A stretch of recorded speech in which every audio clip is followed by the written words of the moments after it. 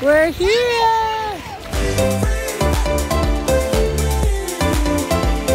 Sobrang ganda ng experience na yon. The footage of my video camera was corrupted. Oh no!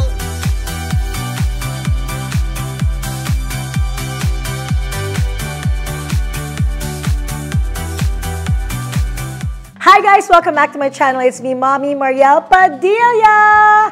Hi everyone. You know, this vlog that I am going to share with you today is long overdue. Okay? Pero marami po kasing nangyari kaya hindi namin ito na ipalabas agad. But there are so many people who made this family vacation super memorable and this vlog is for you guys. Feeling ko parang 'di ba lagi kami nagpupunta sa ibang bansa, I always bring my kids out. I feel na ang dami-daming lugar sa Pilipinas na dapat nakikita ang ganda. Kumbaga, love the Philippines, 'di ba? Unahin natin yung atin. Kaya naman kami ni Robin, we decided na gusto talaga namin na i-tour yung mga kids namin in different places in the Philippines. So our first stop was in Pangasinan. Quick trivia muna tayo. According sa history, ang pangalang Pangasinan ay mula sa dalawang salita na panag-asinan na ang ibig sabihin ay where the salt is made. Matatanda ang kilala ang probinsya ng Pangasinan sa kanilang dekalidad na produktong asin. Probinsya feels. Hi, babies! And we stayed in this beautiful place sa Sundowners Villas. Um, may dalawa siyang place. Merong hotel site at saka merong isang beachfront na vacation mansion. So we really enjoyed the privacy of the place. I like jumping Actually, when I think about it, kung kunwari, dun lang kami sa place na hindi na kami umikot, okay na kami. Ganon kaganda yung Sundowners Villas. Look around first. Don't worry. We're going to stay here for a long time. So, explore. Yan. So, ito, thank you dahil, uh, oh my gosh, ang ganda naman. Oh my God, it's so nice here. Merong yung lutuan sa halayok. Halayok. Na ano, tapos ito may, may parang doon so we can have pizza made. Wow, this is so cool! I think display lang to. But it's super cool. Ang ganda ng pagkagawa. Look at this. I love it. Ang suggestion ko lang for you guys is to make your bookings early. Very mabait sila. So the nice thing about this is there's a kitchen. So if for example gusto nyo na kayo magluto-luto, pwede kayo magluto. Everything was there. Meron pang TV room, meron siyang room sa labas, may mga room sa loob, air condition, malakas yung water, may hot water. Sobrang ganda. It had an infinity pool and the view was just perfect. Tapos mafe-feel mo talaga na may privacy kayo. And then may pugon sa labas, yung may bar. Working pugon ha, that you can use to cook there. Gaano katagal po ang marination nito siya? One day. One day. Yun talaga parang nanunuot ang nasa.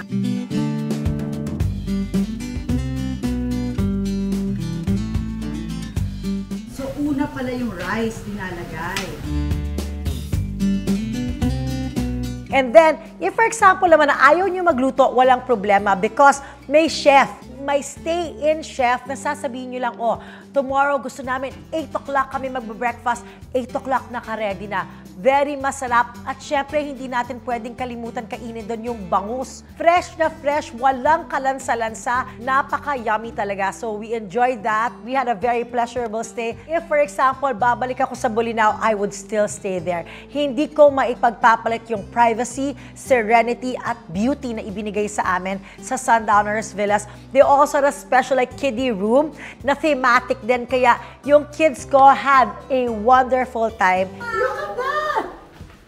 Oh, That's the bunk bed. That's a big one. But- It's so But nice. Tata, we can see Ariel. 'cause we're in the Oh no! Ah! So now that we have settled in, I can give you an actual tour of the place. I was searching the whole morning, looking for the best place where we, um, where I want to show you where I want to bring the kids actually. Kasi nga sabi ko sa inyo, gusto ko ipakita sa mga anak ko na ang Pilipinas ay napakaganda. And I think this is another check because it's breathtakingly beautiful. The, the view is so calming. Perfect yung time and the place is just really, really nice. She is the owner, si Ma'am Cynthia. Ma'am, ang ganda po ng resort niyo. And then you saw the kids room a while ago, hindi ko na gugulihin.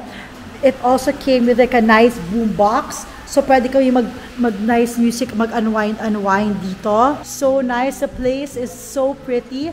Ang ganda ng furniture, ang ganda ng styling. May para ka talagang nasa bakasyon, ramdam mo, very coastal.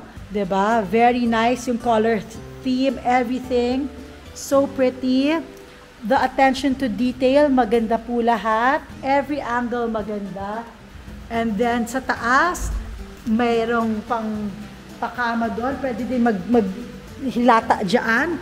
The decors, everything. Malambot yung sheets. So I like that. Ang ganda nung sahig. Look at it. So there's like a little study here. Kunwari, nag-work from home kayo or nag-ano, it's a nice space where you guys can do that with a nice background, ganyan. Kung ako yun, ang sa pag live selling dyan, ang ganda. Oh.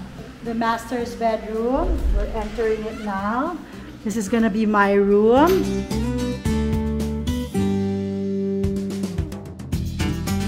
Very nice. What I like is the big closet space here.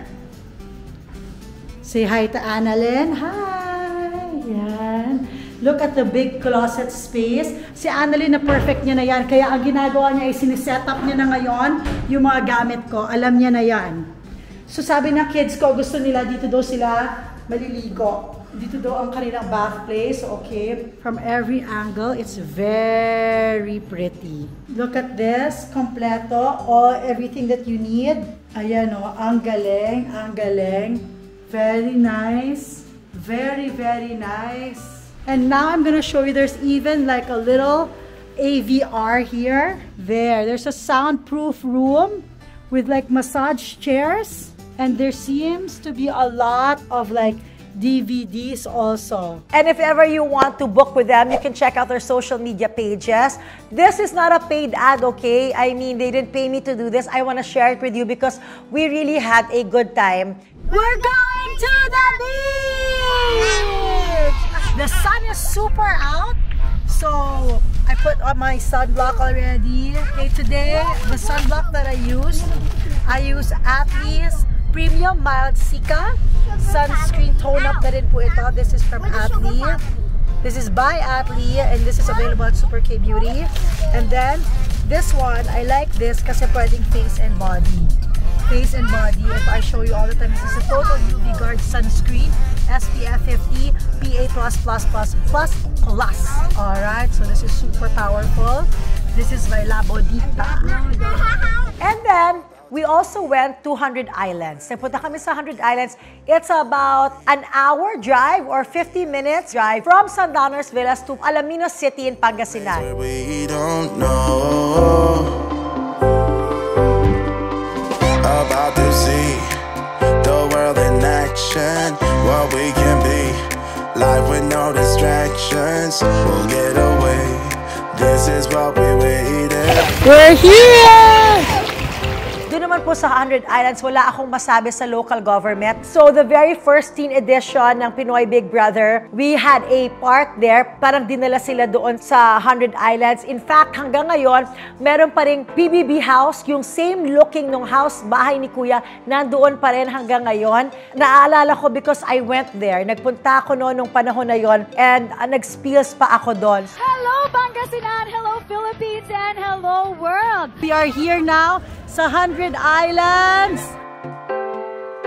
First, we have to make sure every time tayo ay sasakay ng baka, kailangan tayo ay naka-life vest.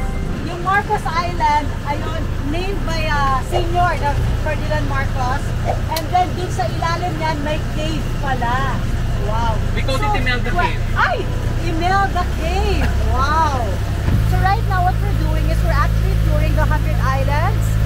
Each island here, there are a total of 124 different kinds of islands and then 30 sa kanila ang may pangalan na. Yung iba unnamed and untouched. There's so many.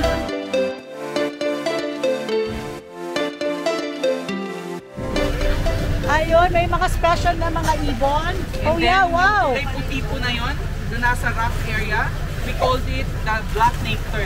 This is the Cathedral Island. We've seen Romulos Island, Marcos Island, Governor. Governor's Island, Cathedral Island, tapos si Pilgrimage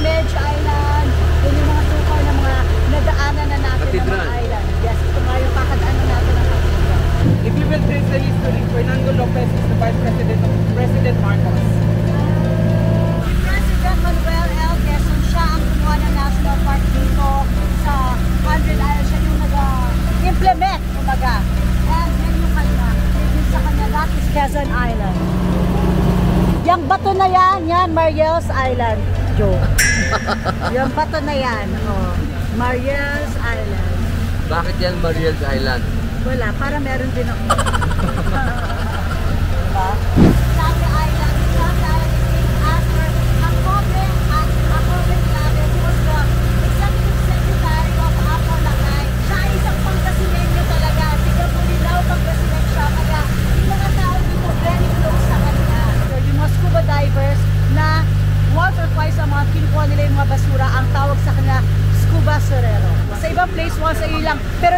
Hundred island once or twice a month nagaganap yon Para talagang ma-preserve at mapanatili na malinis at maganda yung mga corals dito. The next island, this one is Children's Island.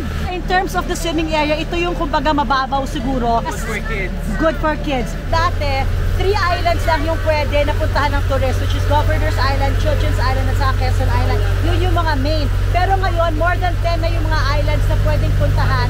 At uh, yung kung saan ka pwede mag-hangout dito sa 100 Islands. Cuenco Island. Cuenco Island. Cuenco. Saka may parang sari-sari store. Yes, it, it has a tunnel actually. Cuenco is a priest during Spanish time. Ah, si Cuenco ay priest during the Spanish time. Yes. And then Paddy Island kasi ang local po ng Paddy sa Pangasinan, Paddy means pare. Ah, Padi. Padi. We're now in Mayor's Island. We're going down We got to see many islands. Ito daw talaga ay dinevelop. Sayang nga because um, I'll tell you guys what happened. The footage of my video camera was corrupted. Oh no! This is the best that I can share with you. I hope na through my pictures, makita nyo pa rin. And through the few videos that I have with me, ma-share at makita ninyo the beauty of 100 Islands. Kaya pala, busy-busy doon at hanggang ngayon ay pinupuntahan ng mga turista. Maganda talaga. May mga areas na may white sand. The water is crystal clear. Napakaganda po ng tubig. Yung kulay ng tubig, very, very nice. It is something na I feel tayong lahat ng mga Pilipino dapat at least once in our lives, mapuntahan natin ang 100 Islands. Hindi ko talaga pinalampas na hindi ko matikman ang Puto Kalasyaw. This, for me, is my parang pinaka-request here in Pangasinan. Feeling ko, kahit sinong tao, kailangan ma matry ito. Ito ay walang iba kundi ang napakasikat, ang pinakamasarap na puto for me, ang Puto Kalasyaw. Mm. Mm-hmm. Looks like marshmallows. Yeah. So grabe talaga yung pag-aalaga na ginawa sa amin ng local government ng Alaminos City ng Pangasinan. So thank you, thank you, thank you so much. Yung memory at yung moment that I shared with my kids, that is priceless and it will always be in my heart and in my mind. I'll never forget it. Hindi pa dito natatapos ang ating adventure dahil may part 2 pa ang ating Central Luzon escapade. Abangan!